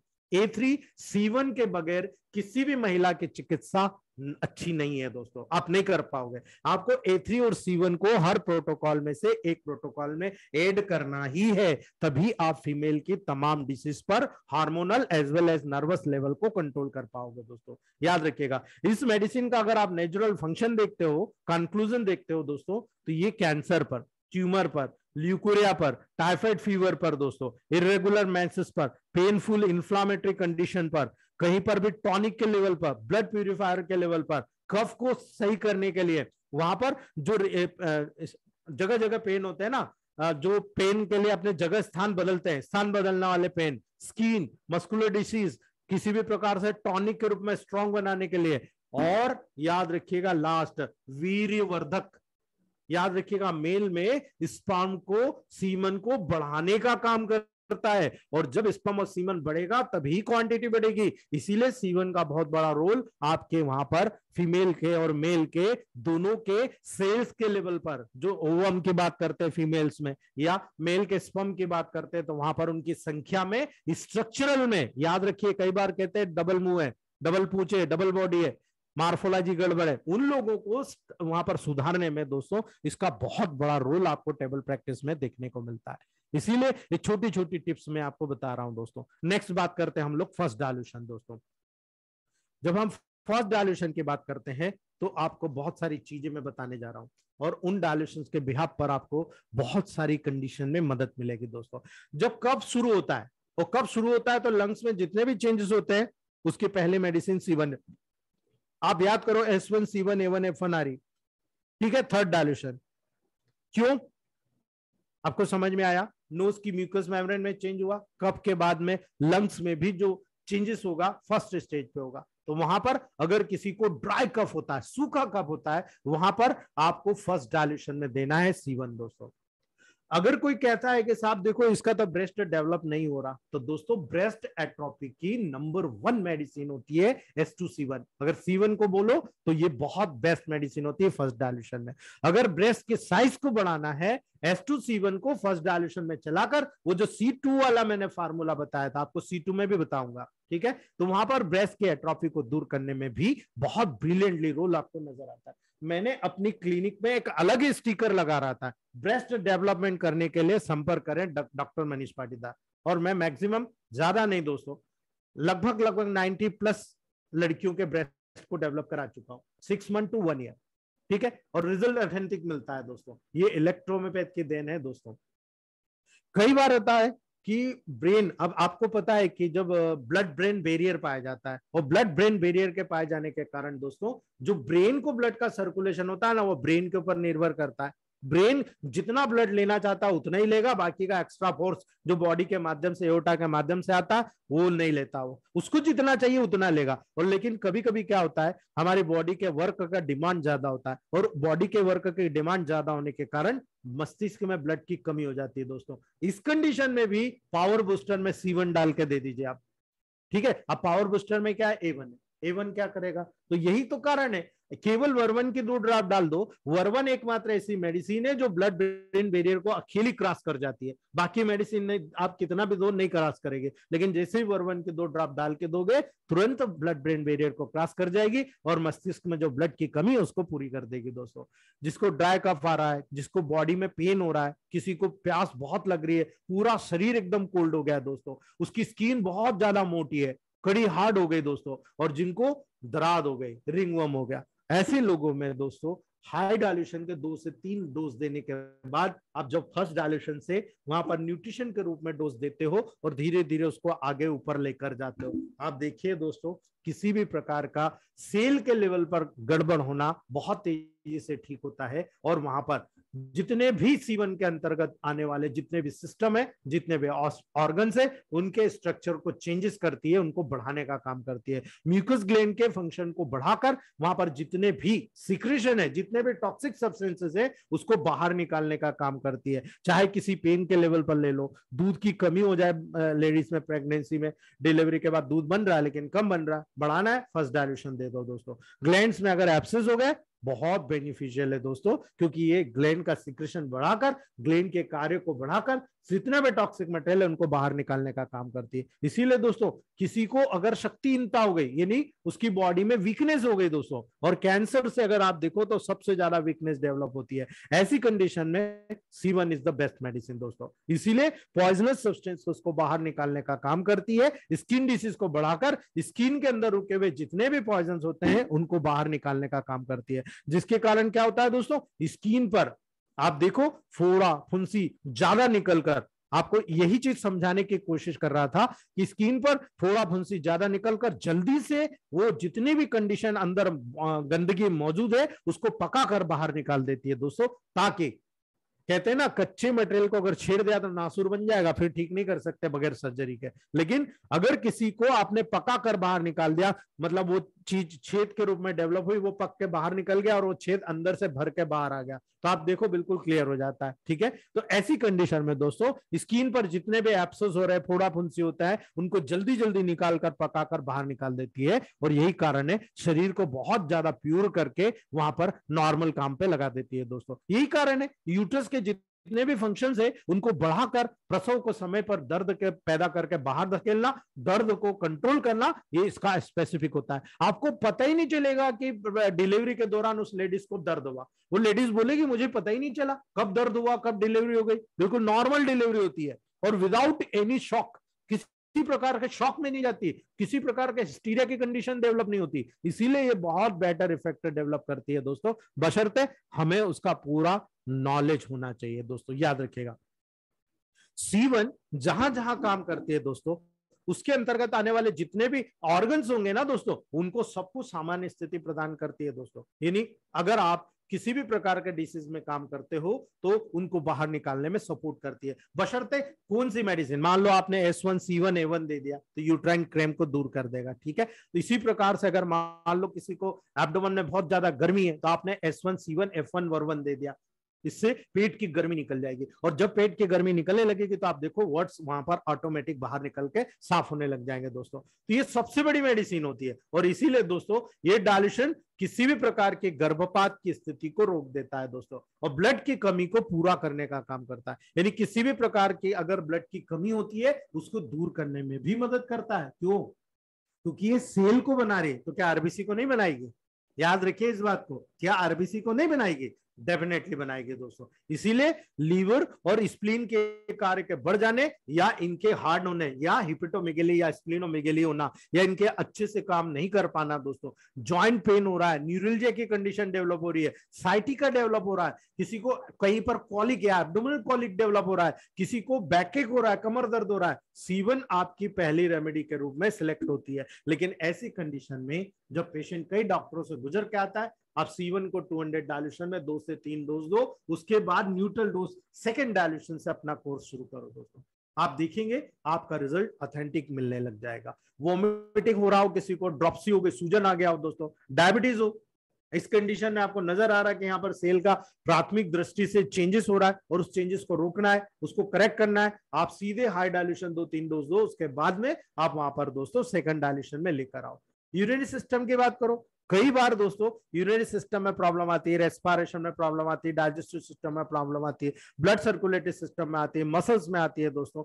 जितनी भी एक्यूट डिसीज है, ठीक है, याद रखिएगा, जितनी भी एक्यूट डिसीज है डिसीज की स्टेट के अनुसार फ़र्स्ट स्टेज में कोई भी मेडिसिन सिलेक्ट करोगे तो वहाँ पर वन वन यानी S one C one A one F one were one when one जितना वन है, वो आपको वहाँ पर प्लस जो इलेक्ट्रिसिटी की ज़रूरत है वहाँ। स्वेलिंग है डब्ल्यू ब्लीडिंग है बी रिलैक्स करना है वाई स्टिमुलेट करना आर ठीक है?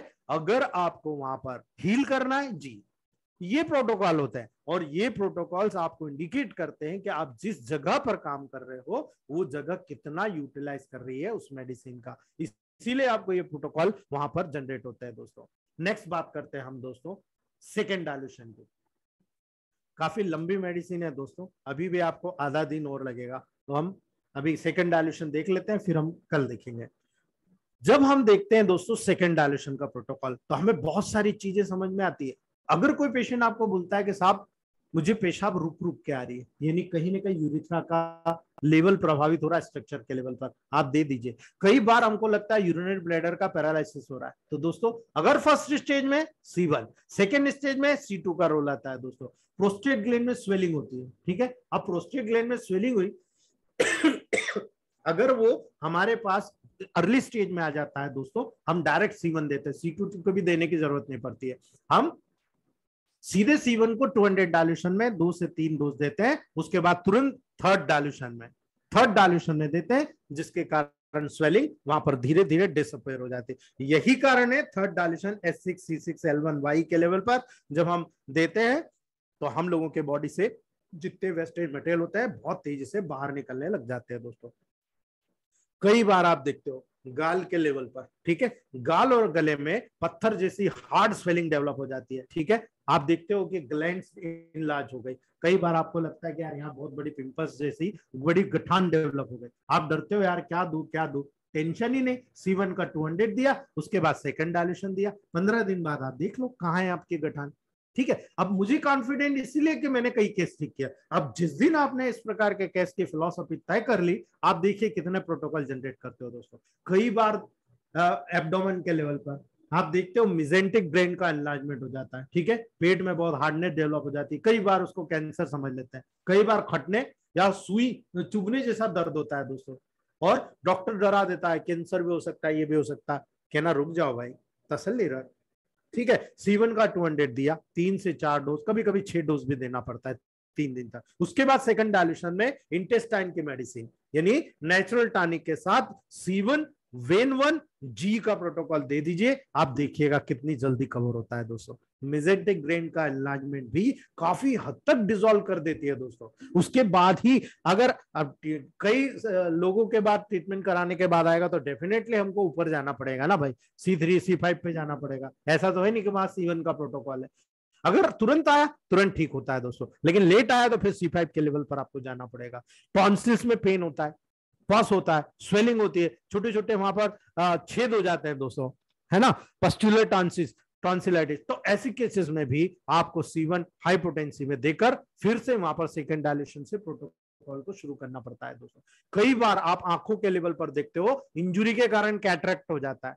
आप मुझे बताओ, वहाँ एस फाइव सी फाइव का रोल है क्या? नहीं ना? इंजुरी के बाद कैट्रैक्ट हो जाए, केवल C one S twelve C one A three W ये आई ड्रॉप होगा। प्लस इंटरनल मेडिसिन में आप वहाँ पर जनरल टॉनिक में C eleven when one G डालकर दे दो।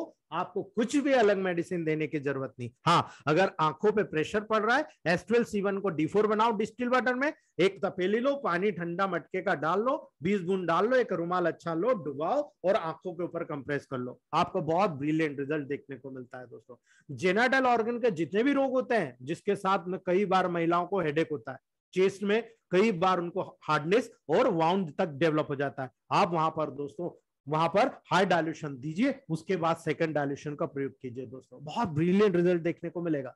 कई बार आपको लगता है दोस्तों लाइट लाइट का फोटोफोबिया होता है। और लाइट से बिना इन्फ्लामेशन के आपको बहुत ही ज़्यादा दोस्तों असहनी कंडीशन हो जाती है। यानी आपकी आईलिड्स जो होती है, वो पार्शियल या पूरी तरह से पैरालाइज हो जाती है दोस्तों। कई बार ऐसा होता है, आप किसी भी आदमी को लाइट अगर आँखों पे मार देते हो, कई घंटों तक आँखें नहीं खुलती दोस्तों। उस कंडीशन में भी हाई डायल्यूशन के बाद सेकंड डायल्यूशन केवल सीवन दे दो, आप देखोगे कि तुरंत रिज़ल्ट नज़र आ जाता है दोस्तों। कई बार हमने देखा है स्पम के लेवल पर। कई लोग कहते हैं कि साहब इसको जो है वीर बहुत पतला है प्री मेच्योर इजेकुलेट हो जाता है। इसके स्पम नहीं बन रहे। इसको सेक्स के कारण मेमोरी का वीकनेस हो रहा है। इसको सुस्ती होती है।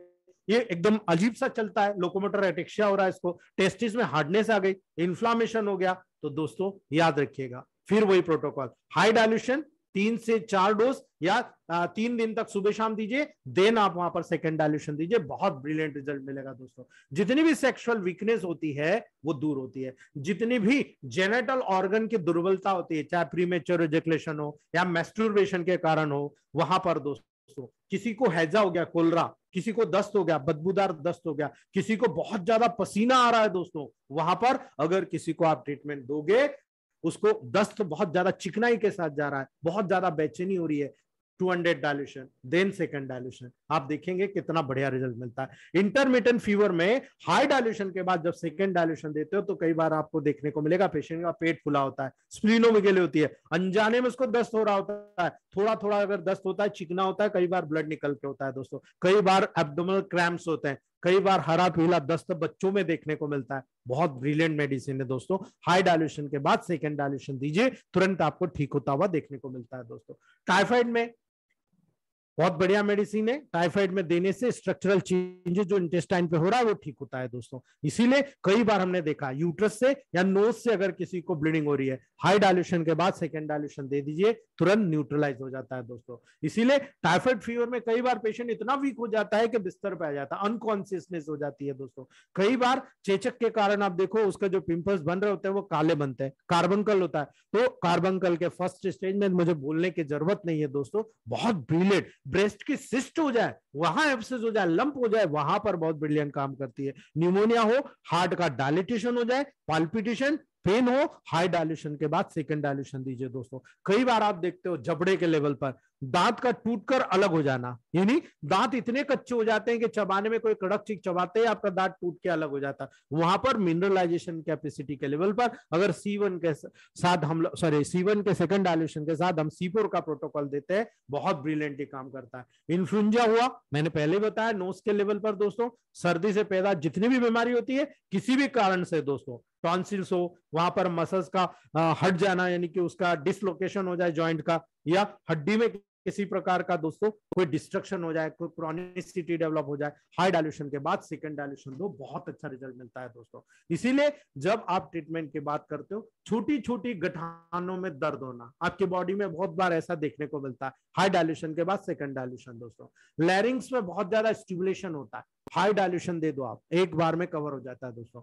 आपको लगता है ब्रेस्ट बड़ा हो गया, ठीक है हार्ड हो गया पेनफुल हो गया हाई डायल्यूशन दो सी में दोस्तों। उसके बाद आपको सेकंड डायल्यूशन से ट्रीटमेंट शुरू करना है। कई बार ऐसा होता है दोस्तों, कोई कीड़ा मकोड़ा डंक मार जाता है और डंक मारने के बाद में उसका पेन होता है। सीधे सी वन का हाई डायल्यूशन, क्योंकि एक्यूट स्टेज है दोस्तों। उसके बाद सेकंड डायल्यूशन। कई बार मेंसेस के दौरान ब्रेस्ट में बहुत ज़्यादा पेन होता है दोस्तों और अकड़ान आ जाती है। कई बार हमने देखा आँखों से गरम गरम आँसू तक महिलाओं को आने लग जाते हैं। ऐसी कंडीशन में C1 का 200 देन सेकेंड डायलेशन से प्रोटोकॉल जनरेट कीजिए। कई बार आप देखते हो हार्ट में पल्पिटेशन होता है हाई फीवर होता है इचिंग होता है स्किन में छोटे छोटे दाने निकल आते हैं, उसके बाद में डेलीरियम जैसी कंडीशन होती है और पूरे बॉडी में छटपटाहट होती है। कोई भी आदमी ढंग से बैठ नहीं पाता दोस्तों। स्किन एकदम ड्राई रेड और आईलिड्स में देखोगे आपको छोटी छोटी सूजन पिंपल्स के रूप में देखने को मिलती है। लालपन हो जाए, खुजली हो जाए और जलन हो जाए। वहाँ पर बहुत ब्रिलियंट काम करता है। इसीलिए मैं एस फाइव सी फाइव का रोल ही नहीं मानता हूँ। S twelve C one A three W ये आईड्राप प्लस वहाँ पर इंटरनल मेडिसिन में एस ट्वेल्व आप सीलमन वेन वन जी का प्रोटोकॉल तय करिए, आप देखेंगे कि आपके आइस की सारी डिसीजेस कवर हो जाती है दोस्तों। तो आज यही रखते हैं। काफ़ी ज़्यादा हो जाएगा तो आप लोगों को ऊपर से जाएगा। ठीक है दोस्तों।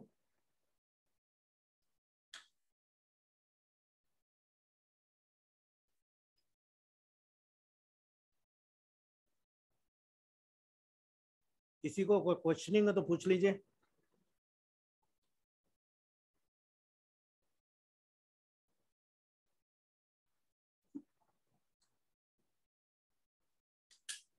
क्या बात है? किसी को क्वेश्चन नहीं पूछना?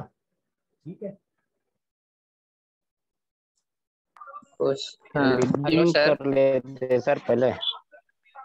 हेलो सर नमस्ते। इरेक्शन इरेक्टाइल डिस्फंक्शन में भी काम करेगा सर जीवन का हाई सर नमस्ते। हेलो सर जी बोलिए। सर मैं ये पूछना चाह रहा हूँ जैसे संजीवनी हम देते हैं तो सर इसका हायर डायल्यूशन बना सकते हैं बना सकते हैं वन थाउज़ेंड में? बिल्कुल नहीं सर संजीवनी न्यूट्रल बेस पे बना हुआ है और जहाँ तक मैं समझता हूँ वो सेकेंड डायल्यूशन में बना हुआ है ठीक है? और उसका न्यूट्रल डायल्यूशन है आप उसको हाई पोटेंशियल नहीं दे सकते उल्टा काम करेगी वो। और एक क्वेश्चन और है सर जैसे आपने बताया समुद्री तल और समुद्री के ऊपर रहने वाले डाइल्यूशन में जैसे हम कई बार उसमें कौन कौन से डाइल्यूशन दे सकते हैं? जैसे समुद्री तल के नीचे रहने वाले व्यक्ति हैं तो वो डी फोर चलेगा या डी टेन के आधार पे चलेगा सर सर आप मुझे बताइए आप आप कहाँ रहते हो? हिमाचल प्रदेश साइड गए हो ना? जी। है ना? वहाँ के लोगों को देखना वहाँ हमेशा हाइपोक्सिया मिलेगा आपको। है? क्या होगा? आरबीसी काउंट हमेशा बड़ा रहेगा। जी। कंडीशन में आप हमेशा नेगेटिव पॉजिटिव आओगे तो ही रिज़ल्ट मिलेगा आपको। जी जी। आप समझ लो। ठीक है sir thank you sir liver mixture क्या है? उसको बारे में थोड़ा सा हमको इंडिकेट कर दीजिएगा। और थोड़ा एक हमको कंफर्म कंफ्यूजन है सर कि जैसे जनरल टॉनिक डी फाइव या डी फाइव या डी सिक्स जो भी है उसमें अगर S five C four R अगर ऐड करना है तो पहले डी फाइव बनाने के बाद उसको पाँच पाँच ड्रॉप डालना है या कि एक ही साइड डाल कर स्टॉक मारना है सर सर आप ऑडियो सुन लीजिए। यही क्वेश्चन बार बार रिपीट मत करिए। आपने ऑडियो नहीं सुना। ऑडियो सुनिए पहले आप। ठीक सर हेलो हेलो नमस्कार sir ji ji sir sir ये पूछ रहा था जैसे टाइफाइड में वायरल में काफ़ी रिज़ल्ट अच्छे मिल रहे हैं हमें तो और भी छोटी छोटी चीज़ों में काफ़ी रिज़ल्ट मिल रहे हैं। जी। जैसे दो तीन प्रोटोकॉल आपसे पूछते उनके भी काफ़ी बेटर रिज़ल्ट हैं। अभी एक बच्चे का बीस दिन का बच्चा सर उसको नाइन मंथ में डिलीवरी में समय में भी किडनी में दोनों में इन्फेक्शन बताया था हाइपोक्सिस जी। और वो रिपोर्टें सर मैंने सेंड कर दी थी अपने ग्रुप पे उसका ट्रीटमेंट बताने का थोड़ा वो करिए सर उसको मतलब अभी डॉक्टरों ने बोला भाई इसको सिटी स्कैन कराओ। अभी यूएसजी करवाया तीन हाँ जी। बच्चे को या उसकी माँ को? बच्चे को है सर। बीस दिन का हावी। ठीक है हाँ। कोई बात नहीं आप बच्ची की माँ को एस सिक्स और सी सिक्स डब्ल्यू दे दीजिए आप डी सिक्स में। है ना? आप उसको ग्लोबल्स बना के दे दीजिए कहिए पाँच पाँच ग्लोबल्स जो भी पानी आप पी रहे हो उस पानी में डिजोल्व करके पीजिए माँ के दूध से फटाफट बच्चे का जो यूरिन का इन्फेक्शन है किडनी का ठीक हो जाएगा वो। यूरिन तो क्लियर आ रहा है वैसे तो सर कोई दिक्कत नहीं है आप दे दीजिए बढ़िया काम हो जाएगा। ठीक है। हेलो हेलो सर सर एक लेडीज़ पेशेंट है सर उसको रिपोर्ट कराया गया तो उसको जो यूट्रस छोटा साइज़ का सर जी। यूट्रस का साइज़ छोटा है उसका। अभी आपने क्या पढ़ा? फिर मैंने अभी तो बताया ना आपको सीवन में। तो सीवन हाँ जी सीवन तो उसको उसको डी फोर में देंगे अभी डी सिक्स नेगेटिव देंगे उसको? अरे बिल्कुल क्लियर बताया उसके बाद भी पूछ रहे हो यार। क्या लोग हो आप? आपको 200 डायल्यूशन दो उसके बाद में सेकेंड डायल्यूशन से शुरू करो या फ़र्स्ट डायल्यूशन से शुरू करो। अभी तो बताया यार मैंने। इतने माथा पच्ची करने के बाद में भी वही क्यों मनीष सर हेलो सर एक महिला है ना सर थर्टी टू ईयर्स एक बच्चा नया है ना सर इधर स्कैन करके ना sir left over in endometrium हो गए ना सर एंड हाइड्रोसैलोपिग्निक्स हो गए ना सर आप उनको सीवन और आरी को ओलिव ऑयल में मिलाकर दो बूंद डेली नाइट में आप उनको डलवाइए नाभि में। ठीक है? ओके सर और सीवन का प्रोटोकॉल चला दीजिए सिंगली हो जाएगा। Okay Okay, sir. Is the same uh, for your protocol uh, C1 uh, thousand thousand to C1 C1 का हाई पोटेंसी दो और उसके बाद में C1 और वेन वन का प्रोटोकॉल चला दो। ठीक हो जाएगा। Okay sir hello ji.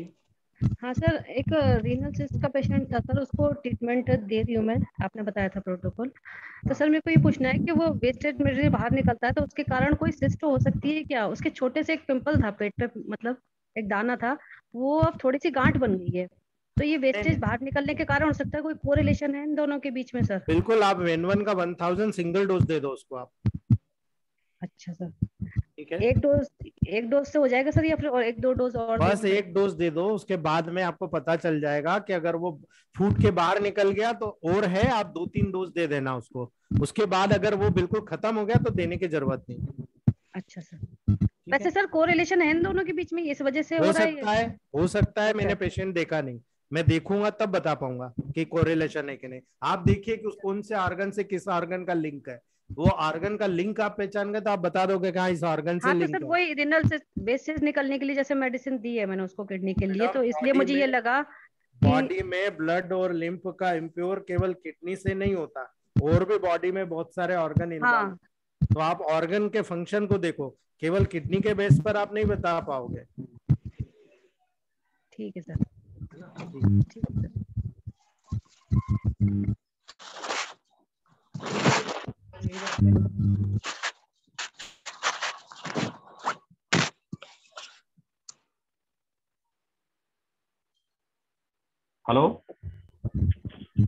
Good afternoon.